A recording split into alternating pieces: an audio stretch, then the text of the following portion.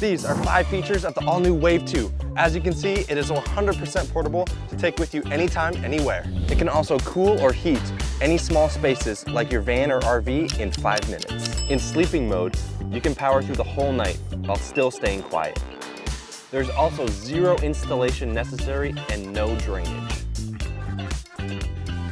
And lastly, it has an 8-hour runtime in Eco Mode. With the interchangeable battery, it can be charged by AC, solar, car, or by any of our EcoFlow power stations.